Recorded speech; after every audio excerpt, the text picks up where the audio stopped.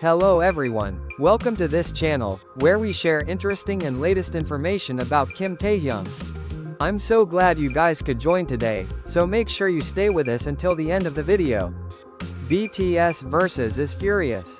This is the content of Kim Taehyung's tweet which is very disturbed by several individuals.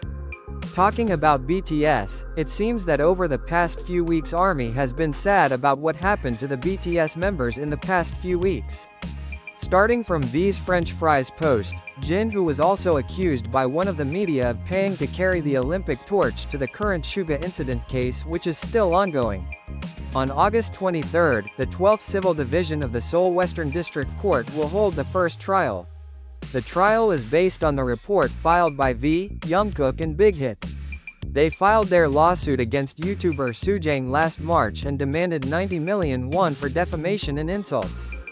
Big Hit Music said, We regularly take legal action against those who write malicious posts containing defamation, insults, sexual harassment, false information and malicious slander against BTS. Looking very upset with the people who defamed them, V poured out his annoyance in his tweet. Disturbing my family and friends, I will continue the lawsuit, my pocket money, snacks will come from that. They even played around and messed with my friends and family goodbye, V typed in the tweet. Defaming people is a heinous act that seems unforgivable. Indeed, V, Jungkook and Big Hit should take legal action so that they are deterred. Thank you for watching this video. Don't forget to like, share, and subscribe to this channel so you don't miss the latest videos. Write a comment below if you have questions or ideas for the next video.